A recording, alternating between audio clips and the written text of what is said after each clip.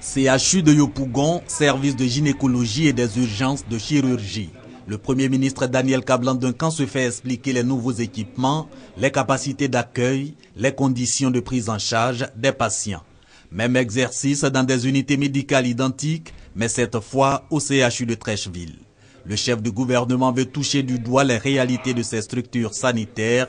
Bien plus, Daniel Kablan-Duncan veut s'assurer que les récents investissements faits par l'État peuvent effectivement aider à renforcer les capacités techniques de ces centres hospitaliers. Avec la décision de fermeture euh, des urgences du CHU donc de Cocody, il était important que nous voyions donc la situation sur le terrain et voir éventuellement comment les choses ont évolué.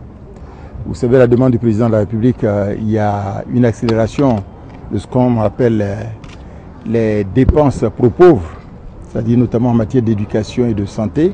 Ça se traduit sur le terrain par une série donc de travaux qui ont débuté, qui vont donc s'accélérer. Satisfaction du chef du gouvernement quant à l'effectivité des investissements et leur impact sur l'amélioration des soins de santé.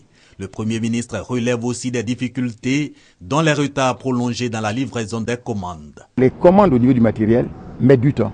C'est-à-dire que même si vous avez de l'argent, il faut qu'on vous le fabrique pour que ça arrive. Et la fabrication, malheureusement, prend des mois. 6 à 8 voilà, mois. Voilà, 6 à 8 mois. Donc c'est l'un des éléments que nous allons essayer donc de gérer.